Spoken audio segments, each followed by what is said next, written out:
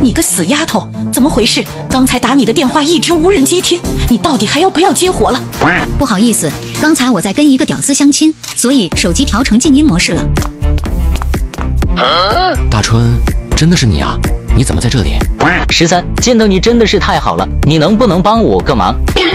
咱们之间就不用那么客气了，什么忙你说，能做到的我绝不推辞。是这样的，我在专坑老实人婚恋网上找了个相亲对象，约好了等下在这里见面。你能不能先替我去跟他见一面，测试一下他这个人的人品怎么样？如果人品还可以的话，我再正式上场。我去，这不太好吧？万一他等下看上了我怎么办？挖兄弟墙角的事情，我可做不出来。你就吹吧，就你这样的，哪个女的会看得上你？让你去见她一面，一来可以测试一下他的人品，二来有了你的衬托，等下轮到我正式上场时，他才会知道什么叫优质男人。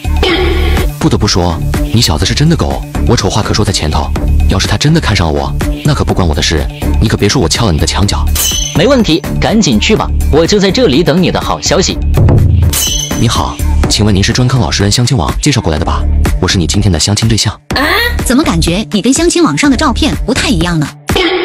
卧槽，刚才怎么把照片直茬给忘记了？那个，主要是因为我这个人平时都比较害羞，基本上没有拍过照片，所以只能在上面放了一张别人的照片。但是你放心，除了照片以外的所有信息绝对是真实的。哦算了，另一半长什么样，我一点都不在乎。相对于外貌，我更看重的是另一半带给我的安全感。那咱们开门见山吧，你对另一半有什么样的要求，可以尽管提出来。怎么说，我也算是一个美女，这个你承认吧？这个我承认，你确实是挺漂亮的。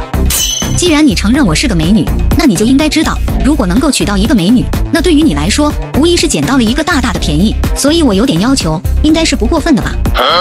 不过分不过分？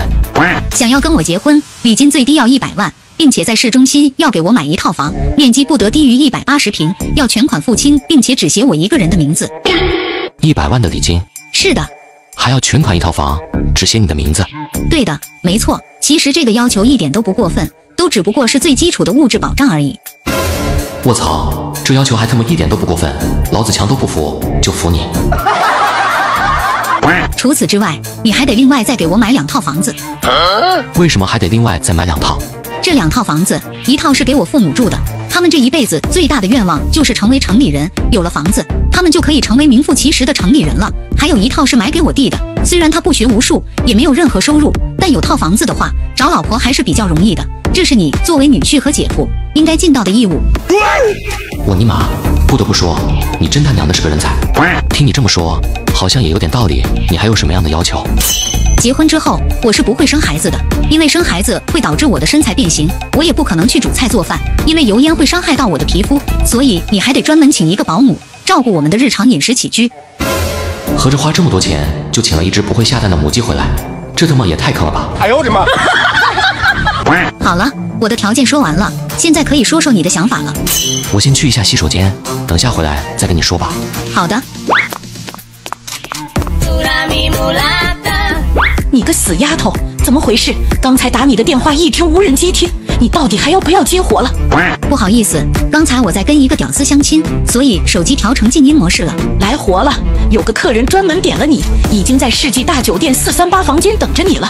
这一单足足有三千块。哦那我等下马上过去，你让那客人再等等我，我的服务绝对会让他终生难忘的。原来他是做这个服务行业的呀，看来这又是一个找老实人接盘的主。那个小姐，我刚才考虑了一下，很抱歉，你的要求我是满足不了的，咱们还是算了吧。我就知道你只是一个又穷又臭的屌丝而已，像你这样的货色，还想找到老婆，也不撒泡尿照照镜子。很好，希望等会儿你还能像现在这么嚣张。喂，是幺幺零吗？我要举报，二十分钟后在世纪大酒店四三八房间有人进行非法买卖活动。十三怎么样了？